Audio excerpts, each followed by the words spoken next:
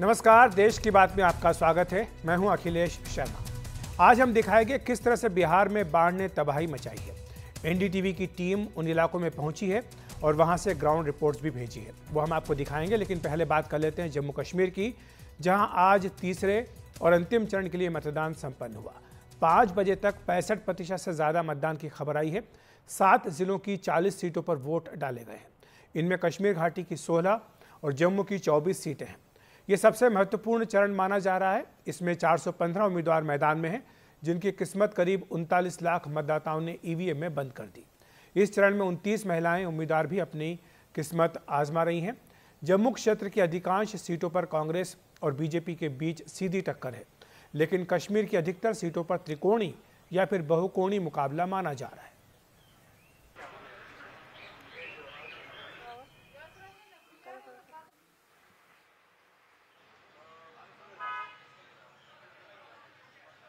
और आज के चरण के मतदान के साथ ही जम्मू कश्मीर में विधानसभा चुनाव के लिए मतदान संपन्न हो गया है। ये तीन चरणों में हुआ था। इस पर अधिक जानकारी दे रहे हैं हमारे सहयोगी नज़ीर मसूदी। जम्मू कश्मीर में तीसरे और आखिरी चरण की पोलिंग अख्ताम हो चुकी है और आज वोटरों ने 415 उम्मीदवारों की किस्मत का फैसला किया है।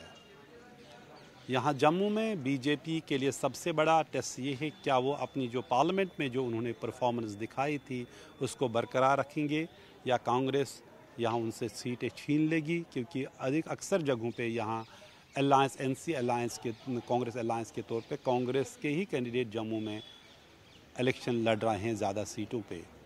और कश्मीर, घाटी के नॉर्थ कश्मीर में 16 सीटों पे इलेक्शन हो रहे हैं। वहाँ न सिर्फ़ नेशनल कॉन्फ्रेंस के लिए एक, बड़ा टेस्ट है कि आज कितनी सीटें बोलेंगे, बल्कि जो छोटी पार्टियाँ हैं, चाहे पीपल्स कॉन्फ्रेंस हो या इंजीनियर रशीद की एआईपी हो, उसके लिए भी बड़ा टेस्ट है, क्योंकि ये एआईपी इंजीनियर रशीद के लिए एक इम्तहान है कि क्या जब उसने तिहाड़ जेल में इलेक्शन लड़ के उमर अब्दुल्ला को नॉर्थ कश्मीर बारामुल्ला सीट से हराया, क्या वो सिर्फ़ हमदर्दी का वोट था, जज्बात पे वोट मिला था, या ज़मीन पे उसका सचमुच में असर है और आज भी वोट मिलेगा उसके उम्मीदवारों को। सज्जाद लोन की पार्टी के लिए एक इम्तहान है कि वो कई सीटों पे लड़ रहा है और ख़ुद भी सज्जाद लोन दो सीटों पे लड़ रहा है और पीडीपी जो तकरीबन बिखर चुकी थी इलेक्शन से पहले, कई लोग उसमें वापस आ गए। उसके लिए भी वो कितनी सीटें लेगी और नेशनल कॉन्फ्रेंस के लिए कि वो कहाँ तक जा सकेगी? क्या वो सिंगल लार्जेस्ट पार्टी बनेगी और कहाँ तक बनेगी? या जो बहुमत के करीब आ सकती है या नहीं। क्योंकि वो उनका दावा था कि पिछले दो फेज़ों में सबसे ज़्यादा सीटें उन्हीं को मिली। और बीजेपी के लिए ये है क्रूशल कि जम्मू में क्या जो उनकी कोर कॉन्स्टिटेंसी थी, है, रही है, क्या उसको वो बरकरार रखेंगे।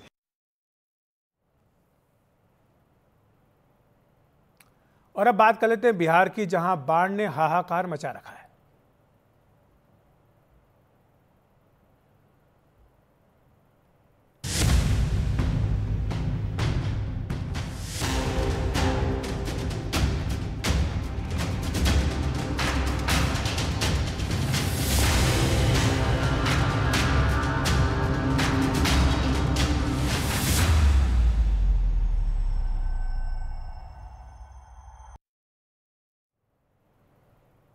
बिहार में कई नदियाँ उफान पर हैं। कई ज़िले बाढ़ की चपेट में हैं।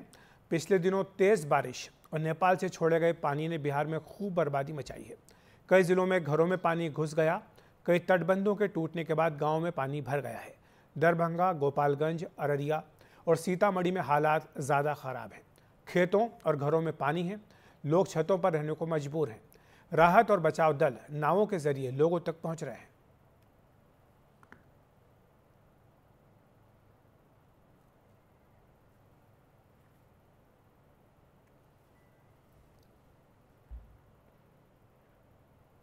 और एनडीटीवी की टीम उन जगहों पर पहुँच रही है जहाँ बाढ़ ने बर्बादी मचाई है। वहाँ के हालात आपके सामने ला रही है। सीतामढ़ी ज़िले के कई इलाके पानी में डूबे हुए हैं। एसडीआरएफ की टीमें रेस्क्यू ऑपरेशन में जुटी हुई हैं। प्रभाकर की ग्राउंड रिपोर्ट।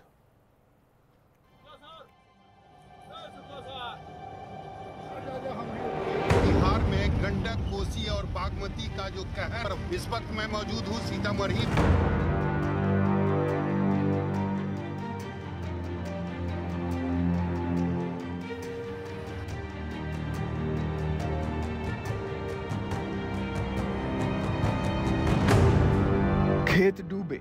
गाँव डूबे। छतों पर रहने को मजबूर लोग। बोट के ज़रिए हो रहा है रेस्क्यू।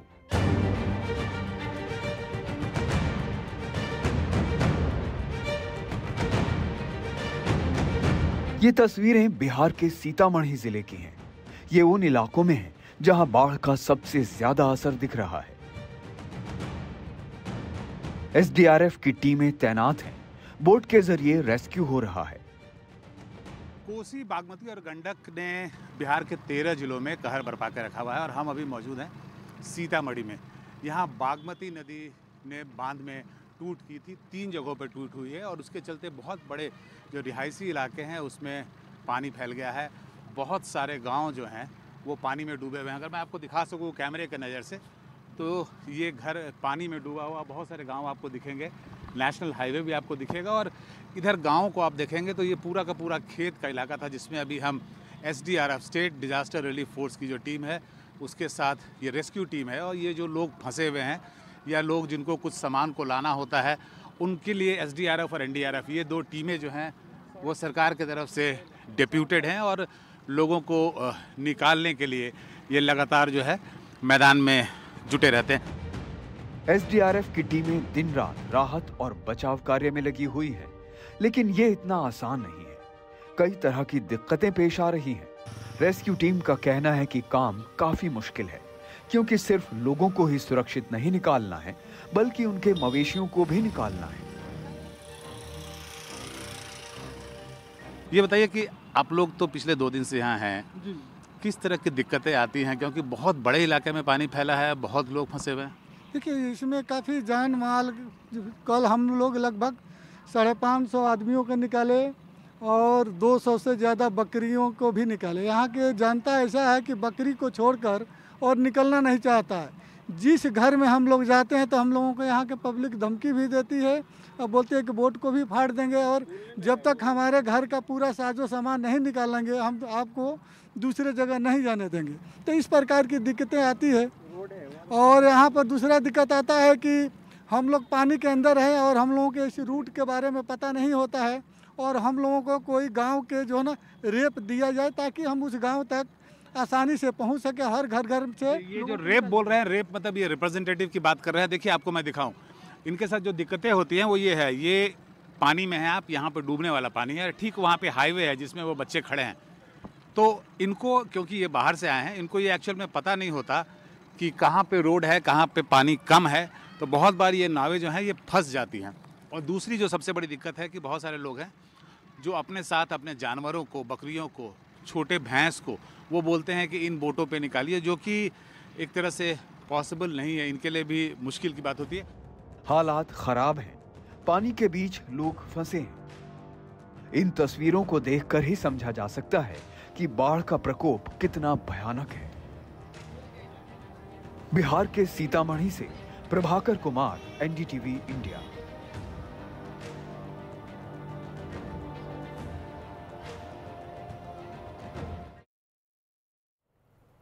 हालात ये हैं कि हज़ारों लोगों को अपने घर छोड़ने पड़ रहे हैं। ऊंचाई पर जाना पड़ रहा है। हाईवे के किनारे इन लोगों को आशियाना बनाना पड़ रहा है। ये तस्वीर आप देख सकते हैं कि किस तरह ये लोग अपनी ज़िंदगी गुजार रहे हैं। सरकार की ओर से सामुदायिक किचन बनाए गए हैं, जिनसे इन्हें खाना मिलता है। इनमें से अधिकांश बेहद गरीब तबके से हैं।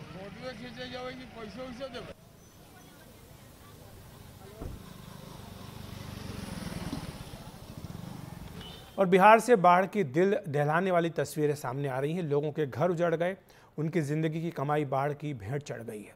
राहत शिविरों में किसी तरह सिर छुपाना पड़ रहा है। इन शिविरों में बड़ी बड़ी संख्या में बच्चे भी हैं। यहाँ इन बच्चों की देखभाल करना बड़ी चुनौती है। बच्चों के लिए अलग से सेंटर बनाए गए हैं, जहाँ उन्हें नर्सरी, राइम्स और कविताएँ सिखाई जा रही हैं। उनके खाने का खास इंतज़ाम भी किया जा रहा है।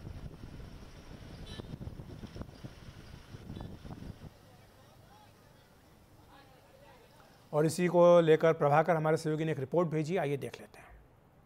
पूरे उत्तर बिहार के लगभग तेरह जिलों में कोसी, बागमती और गंडक की आई अचानक बाढ़ ने लगभग तबाही सी मचा दी है।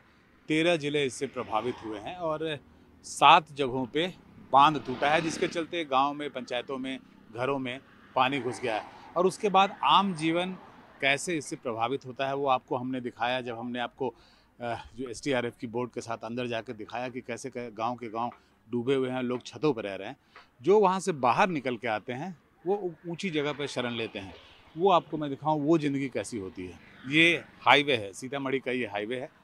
और ये जो आप काला प्लास्टिक का तंबू देख रहे हैं, मीलों तक आपको ऐसे ही दिखेगा, ये तंबू लगा हुआ, ये लोग जो हैं, अब इनका जब तक पानी वापस नहीं चला जाता है, इनका घर जो है, वो यही हाईवे होगा। इस पर लगातार देखिए दोनों साइड से गाड़ियाँ चल रही हैं, लेकिन उसके बाद भी जो बाढ़ प्रभावित लोग हैं, अपने जानवरों के साथ, मवेशियों के साथ, वो आके यहाँ पर रहते हैं। सरकार की तरफ़ से इनके लिए ये जो टेंट आप देख रहे हैं, काला तंबू जो है वो दिया जाता है। उसके अलावा कम्युनिटी किचन चलाया जाता है, इन्हें सूखा राशन भी दिया जाता है। और ये देखिए जानवर के चारे की तैयारी कर रहे हैं ये। इनके जो जानवर होते हैं, वो इनके लिए बहुत कीमती होते हैं। और यही कारण है कि ये जब आते हैं वहाँ से तो अपने घरों को जब छोड़ते हैं साथ में जानवरों को ले आते हैं। आपको लगभग हर तंबू में, हर टेंट में आपको साथ में जानवर दिखेगा। और ये बहुत ही कठिन ज़िंदगी जिएँगे। जब तक ये पानी वापस नहीं चला जाता इनके लिए रोज़ की जो ज़िंदगी है, काफ़ी जद्दोजहद वाली होगी। क्योंकि धूप हो, बरसात हो, सब भी मौसम में इनको यहीं पे बैठना पड़ेगा, इसी जगह पे रहना पड़ेगा। चाची ये बताइए कि आपका गाँव कहाँ पे है? आप यहाँ क्या कर रही हैं हाईवे रोड पे? हमको गाँव ये है पितौजिया हाँ। जगन्नाथ पितौजिया यहाँ रोड पे क्या कर रही हैं? क्या करना है जो घर में सारा चीज़ दह गया। हाँ। हाँ। घर दोनों दह गया घरों दह गया। कुछ भी खाने के लिए नहीं है तब आज बनाने हैं।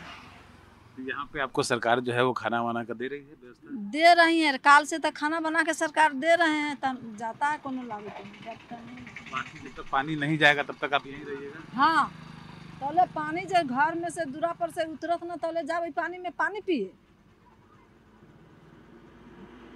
देखिए ये जब तक पानी वापस नहीं जाता तब तक इनके जो रोज़मर्रा की ज़िंदगी है वो काफ़ी चुनौती भरी होगी क्योंकि इस हाईवे पर रहना, इस धूप में रहना, बारिश होगी तो बारिश में रहना, ये कोई आसान काम नहीं है। और साथ में अपने मवेशियों की देखभाल करना। आप देखिए यहाँ, ये जो चारा कटा हुआ है, ये मवेशी के लिए चारा है, ये भूसा आपको दिख रहा है और ये सारे मवेशी जो हैं, ये इनके लिए, इनके रोज़मर्रा के लिए, इनके इकोनॉमी के लिए, इनके फाइनेंशियल सर्वाइवल के लिए बहुत ज़रूरी होते हैं।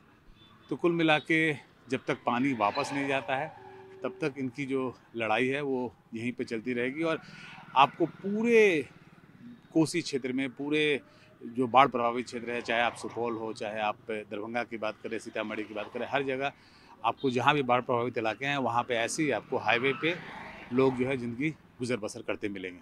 सीतामढ़ी से प्रभाकर कुमार, एनडीटीवी। और बाढ़ से निपटने के लिए पूरा प्रशासनिक अमला मैदान में है। अधिकारी राहत शिविरों में पहुँच रहे हैं। लोगों को खाना दिया जा रहा है। ज़मीनी हालात पर नज़र बनाकर रखी गई है। मुजफ्फर ज़िला भी खासा प्रभावित है। एनडीटीवी ने बात की है ज़िले के डीएम सुब्रत सेन से। अभी जैसा कि हम लोग जान रहे हैं कि- बागमती नदी के जलस्तर में वृद्धि के कारण लोगों का विस्थापन हुआ है। तो हम लोगों ने कल से ही यहाँ पर कम्युनिटी किचन की व्यवस्था की है। अब इसको हम लोग छोटे छोटे ग्रुप में तोड़ रहे हैं।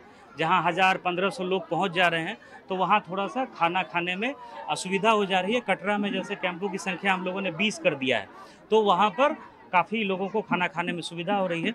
इसके अतिरिक्त जो हम लोगों का स्वास्थ्य कैंप है वहाँ डेढ़ सौ से ज़्यादा मरीजों का इलाज हो चुका है दवाइयाँ पर्याप्त मात्रा में उपलब्ध है। इसके अतिरिक्त आईसीडीएस के सेंटर ये बहुत इंटरेस्टिंग दिख रहा है।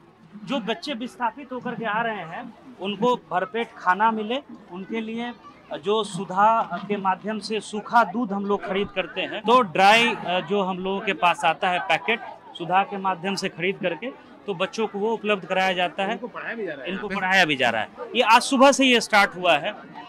ये आज सुबह से ही प्रारंभ हुआ है क्योंकि पानी जो है सीतामढ़ी का आज कल भी पितौंजिया वगैरह में फैला था कल दिन के बाद से।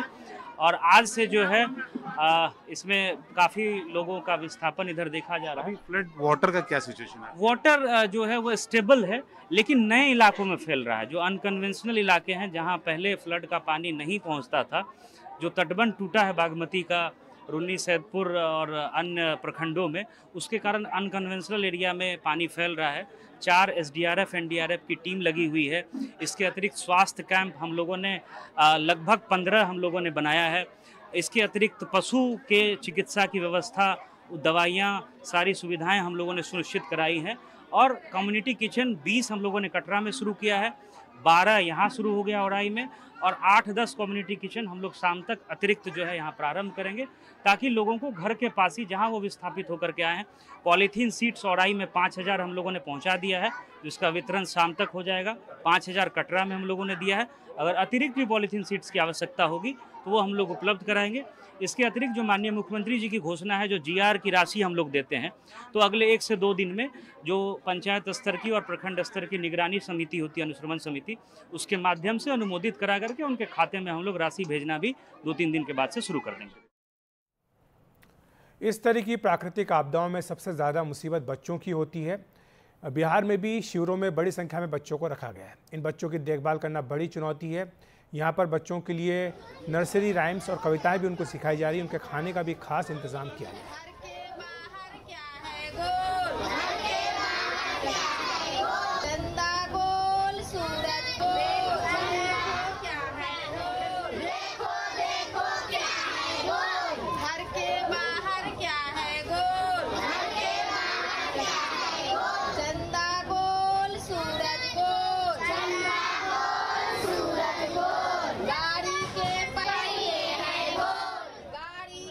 बिहार के तेरह ज़िले बाढ़ से प्रभावित हैं। बागमती, कोसी और गंडक ने कहर बरपाया हुआ है और जगह जगह पर रिलीफ कैंप लगाए गए हैं। रिलीफ कैंप से जो खबरें हम आपको दिखाते हैं वो खबरें जो हैं, तबाही की खबरें होती हैं। उन तबाही की खबरों के बीच में एक खबर आपको हम ये दिखाते हैं। ये छोटे बच्चे हैं, बाढ़ प्रभावित क्षेत्र के बच्चे हैं और ये यहाँ पे मुजफ्फरपुर के एक रिलीफ कैंप में हैं, जहाँ पे इनके न केवल पढ़ने की व्यवस्था की गई है। एक आईसीडीएस सेंटर है बिहार गवर्नमेंट का, जिसे यहाँ चलाया जा रहा है तो न केवल उनके पढ़ने की व्यवस्था की गई है, बल्कि इन्हें एक्स्ट्रा न्यूट्रिशन के लिए जो प्रोग्राम होता है, वो भी दिया जाता है, जिसमें इन्हें अलग से दूध दिया जाता है, अलग से फल दिया जाता है और स्पेशल खाने की व्यवस्था की जा सके, ताकि इनके पोषण का पूरा ध्यान रखा जा सके। और अब आप देखिए, ये ये खूबसूरत सुखद तस्वीर है बिहार के मुजफ्फरपुर से एक सेंटर की। और देखिए, ये बच्चे कैसे नर्सरी राइम्स पढ़ रहे हैं। ये ये मैम ये जो बच्चे पढ़ रहे हैं ये क्या है? ये मैं देख रहा हूँ नर्सरी राइम्स पढ़ रहे हैं। वो तीन से छः साल के बच्चे हैं और तीन से छः साल के बच्चे को सालापुर स्कूल जाने से पहले का तैयारी आंगनबाड़ी केंद्रों में कराया जाता है। तो इसके लिए उन्हें प्रॉपरली पढ़ाया नहीं जाता है। राइम्स हो गया गेम्स हो गया मतलब वैसा चीज़ छोटे छोटे एक्टिविटीज़ कराया जाता है जिनसे वो यहाँ पे स्टे करे और स्कूल जाने के लिए तरह से ये प्री स्कूल हाँ प्री स्कूल है। This is a preschool concept of जहाँ तक इनके न्यूट्रिशन की बात है ये बात है वो क्या है। मंडे टू सैटरडे इनका मेनू निर्धारित किया गया है और उसी मेनू के अनुसार इनको खाना आंगनबाड़ी केंद्र पे प्रोवाइड किया जाता है।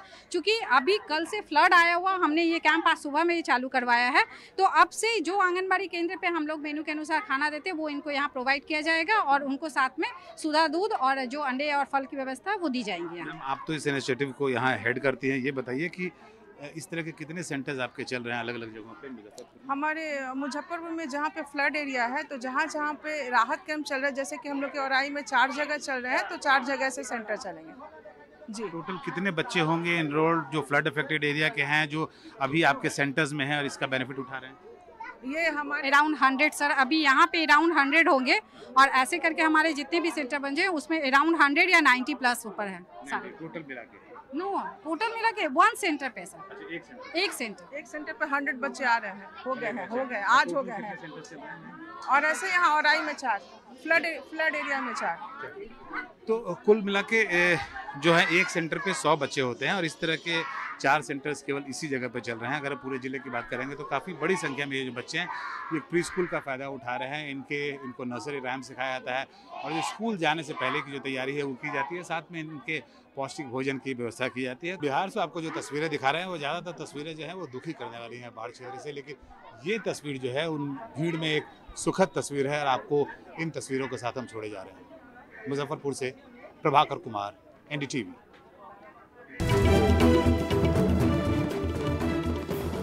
यूपी में सवारियों से भरी एक ट्रेन टूटी पटरी पर दौड़ा दी गई। ये घटना झांसी के पास ललितपुर की है। तिरुवनंतपुरम से नई दिल्ली जाने वाली केरला एक्सप्रेस टूटी पटरी पर चला दी गई। ट्रेन के झांसी पहुँचने पर यात्रियों ने जमकर हंगामा किया। यात्रियों की सुरक्षा से खिलवाड़। टूटी पटरी पर चला दी ट्रेन। झांसी के स्टेशन पर यात्रियों का यह हंगामा ऐसे ही नहीं है। ये एक बड़े खतरे से बचकर आए हैं।